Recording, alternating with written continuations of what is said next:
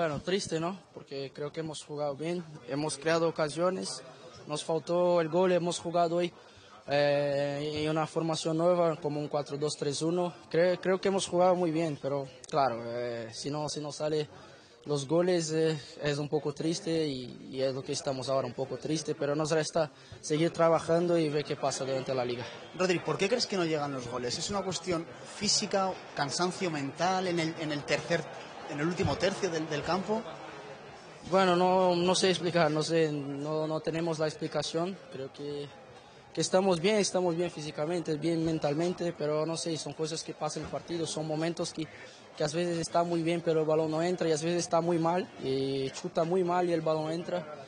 Y bueno, son cosas que pasan en el fútbol, pero no, nos toca ahora seguir trabajando, que las cosas van a mejorar. ¿Tú físicamente estás bien porque juega el partido entero, no? Sí, sí, ahora ya, ya me encuentro bien. Yo estuve fuera contra, contra el Atlético por una pequeña lesión.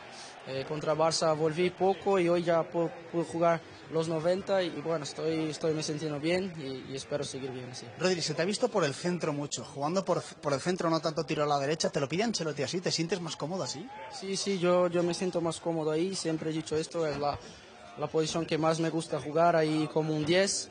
Y, y, bueno, creo que, que puedo hacer más daño al, al, rival jugando por ahí porque combino mucho con, con Karim y bueno, es donde, donde me gusta jugar y si tuviera que elegir una posición yo siempre digo ahí donde he jugado hoy. El Barcelona nueve puntos por encima, ¿se acabó la liga? Bueno, creo que, que no se acabó, eh, todavía podemos decir que estamos vivos, pero está difícil, está muy difícil. No podemos mentir porque está difícil, pero vamos a seguir intentando. Jugamos contra ellos todavía y, bueno, intentar ganar todos los partidos que quedan.